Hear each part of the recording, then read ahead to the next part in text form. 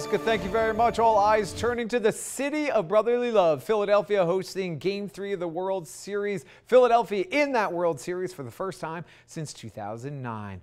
We'll turn our attention to CBS 21's Joel D. Smith. He is live outside of Citizens Bank Park. Joel D., everyone with eyes to the sky. What's the atmosphere like outside the ballpark?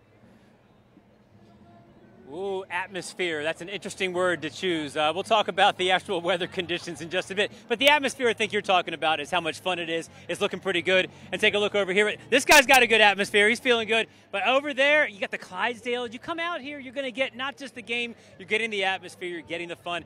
And take a look at this. You're getting some street art. We were here when the guy put this together. And I asked him, hey, that's got to be, you know, water safe, right? He says, no, it is not. Uh, he did cover it up once when it had a little bit of drizzle. The question is, will we have more than that? That's not only a question for the art situation here, it's also for some people who got tickets for tonight, but only tonight. Take a listen. We're either going to be having some beers downtown or uh, in sorrow or in happiness on the game. what are your options in case they just push it back a day, everything? Uh, I'm, we'll have to we'll, we'll debate on. We'll, we'll, see. We'll see. I don't know. My option number one, what's more more than likely going to happen, I have to fly back tomorrow night, and we'll miss out on the game, and my dad will have to find somebody else to come with. All right, so his dad might need to find someone else to go with. Maybe he can go with you if this game goes moved to tomorrow. We got Steve Knight here, a huge Phillies fan. But you're also a fan of weather, but not this weather. Not this weather. You know, we're still waiting to see what Major League Baseball is going to do.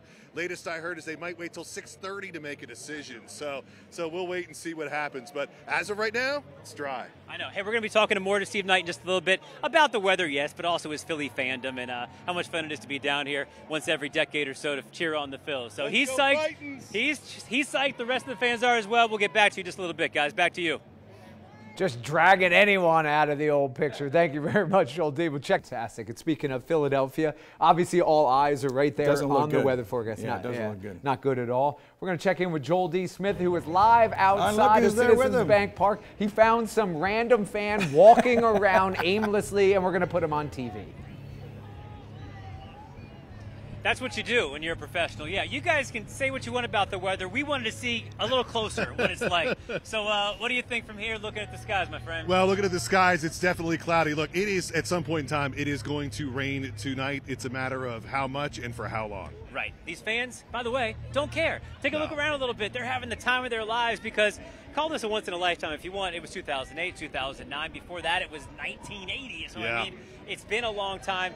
Uh, but these fans are going to just celebrate no matter what, right? Yeah, absolutely. And, you know, obviously it's the first home game of the World Series for the Phillies since 2009. So this has been a long time coming, Joel D, and the fans are ready. Yeah, so I did talk to someone earlier who said, I said, What are you going to do if you can't make it? You heard the one guy who said he's got to fly back home. Another one said, I don't care. I'll be here as long as it takes. Yeah, I, yeah. I talked to a guy, he basically said, Hey, look, I have a cot in my car, and if that's what it takes, I'll sleep in the parking well, lot. Well, let's talk real quick about the new rules this year yeah. compared to back in 2008. They changed right. it after 2009. Yeah, basically, if they start the game and they have to postpone it at some point in time, they'll resume the game tomorrow. Let's say they had to, you know, stop the game in the third inning, yeah. they'd pick it right up in the third inning tomorrow. So this game will be finished if they started. It just might take until tomorrow. You can say you were there. It, yeah, different days. yeah, right, game. right. Yeah. So all right, we have much more going on. We're going to be back here soon, and once again, you're going to hear from that authentic Philly fan, but also a friend from the past. Jason Bristol is going to be here. And what do you have? I got a poncho. Uh,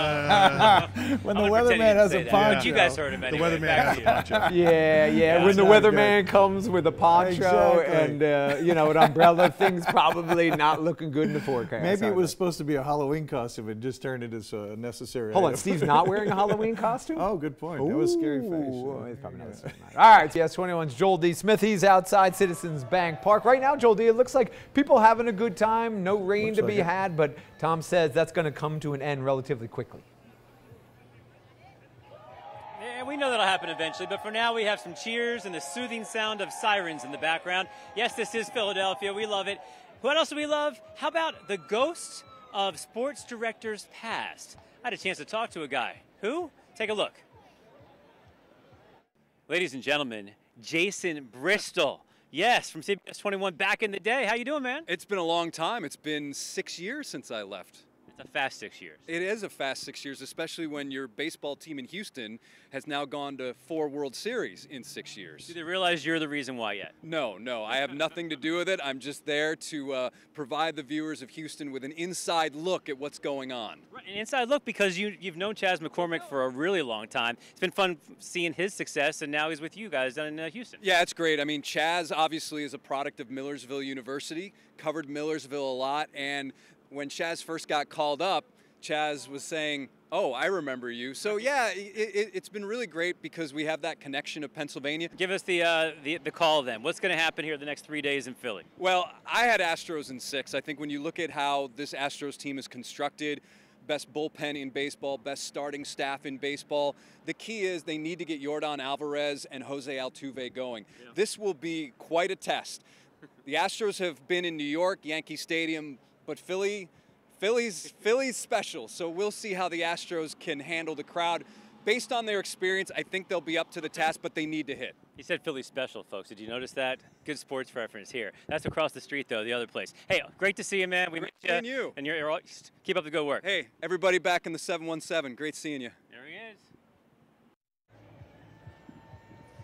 That is the illustrious Jason Bristol. Now he is a Houston broadcaster, but we know his heart is still with us here in Pennsylvania, and he loves the Phillies as well, but he can't admit that on the air, just to us. Anyway, guys, we'll see you coming up again soon. For now, it is not raining in Philadelphia. Back to you. The weather is one of the bigger stories, mm-hmm. but Joel D, fans having some fun out there outside of Citizens Bank Park. I'm sure there's a beverage or two being enjoyed by some. What do you say, Joel D? I'm sure that's happening a little further away from us. This guy has to be serious because he's the one behind that great street art we showed you earlier. It is Michael MacAulay right here. The stuff's gorgeous. How nervous are you about the weather, though? Well, I'm just glad. I mean, the fans get to enjoy it now. Once they're in the ballpark, you know, I guess it'll wash away. So. What, what kind of paint is it? We're going to get a better look at it right now. What do you use to create this? Um, it's tempera paint and chalk. So it's very temporary. So nice hard rainstorm. I brought a tarp just in case we'll cover it if we can, but uh, otherwise, enjoy it now. Take a lot of pictures. You're the only one watching the weather more than we are. Yeah, oh yeah, I've been watching it all day. well, it turned out beautiful, so congratulations on that. Tell everybody if they want to check out your work, where to go. Uh, MichaelMacAulay.com. It's M A C A U L A Y. Congratulations. He also did opening day, guys, but uh, we'll let you get back to it. Great job. All right, thank you. All right, go Phils. Hey, guys, we also want to show you what's happening on this side behind me over here. So they are starting to let fans in gradually. The latest we heard is that the decision has been moved back to at least 6:45. It was supposed to be 3:30, then 5 o'clock. Now 6:45. It sounds like they really want to get this game in, no matter what. Uh, the fans are here. Some people can't go tomorrow in case that's it. You know, each ticket costs around $900, $1,000 maybe, so they want to get this game in if they can. So basically, we'll see if they can do that. So far, they keep pushing it back. They're not saying go home, so maybe they're going to say play ball. And as I say this, a couple raindrops start coming ah, down. We'll keep an eye on it for you and see you soon, guys. Back to you. you jinx yourself, Joel D. Great job, Joel D. It is the first World Series game in Philadelphia since 2009. Take a look around. They are ready to roll. But will baseball actually happen here tonight? We'll tell you next.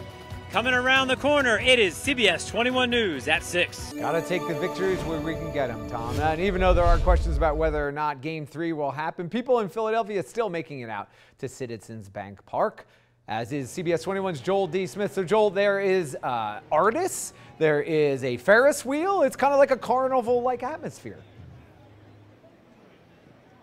It certainly is, and hopefully that's not all they end up with with their entertainment for tonight. Since I saw you last, I got the jacket on, I got the hat on because the rain has just started to fall. We've been here uh, since about 2:30 this afternoon. It's been the talk. They were going to make a decision at 3:30, then at 5, now 6:45. Major League Baseball seems like they want to get this game in, but we're not sure if they're going to be able to. You heard from a guy earlier today who said, "Hey, I can only come to tonight's game. I don't know what I'm going to do if it gets canceled." I think they're caring about those people in the thousands that are here already that maybe took off time to be here. They are here. They're ready to roll. They've been waiting for this for a long time. But I talked to another guy. He doesn't care. Whenever they play, he'll be ready. And he actually uh, had to work to get some extra money for this because it costs a lot to come here. Take a listen. Once in a lifetime thing. I've remortgaged my house, 100%. Got 3,500 out on my house. I'm proud to say it too. He said that the tickets for tonight, standing room tickets, $900. Quick fact for you it would have been cheaper to fly to Houston, get a hotel, get a ticket at Houston, watch your Phillies play there, and fly back than getting most of the seats here tonight. But the people are ready to roll. We'll see if this game actually happens, though. It is starting to rain. We'll see in just a little bit, guys, and we'll show you more about what's happening a little bit further down that way. But for now, back to you. Halloween at the World Series was supposed to be a treat. It's turned out to be more of a trick. We're talking more about it next. And the weather. The hog. Apparently, the energy is rising in anticipation of Yep. a Philadelphia Phillies World Series game. Fans, they're excited to hopefully host the World Series baseball game for the first time since 2009. And of course, that's where we find our very own Joel D. Smith. He's live outside Citizens Bank Park. I need a weather update, my friend. Well, first, it is Bryce D. Smith, if you haven't noticed. The rain stopped. We know it's coming back, according to you. But, you know, this is also Halloween. I got Carter and Thomas here with me right now. Guys, you gave up trick or treating for this? Why? Because it's, a It's the World Phillies. Series. I mean, it's World Series. Right, you don't know if you're ever going to see this again in your life. That's awesome. Uh, Mom, get over here. It's been frustrating, though. We hope we get this game in. If it doesn't happen tonight, what are you going to do? Uh, we're gonna go to my mom's, eat dinner, and send the kids trick or treating. and mini Bryce Harper's. Everybody wins, right? Everybody wins. Everybody wins. Hey, guys, you missed trick or treating, but no, you didn't. I'm taking care of you tonight. Go ahead, take a big handful of those guys. There you go. Hey, we it's not raining now. We know it might rain later. They're going to look at this again.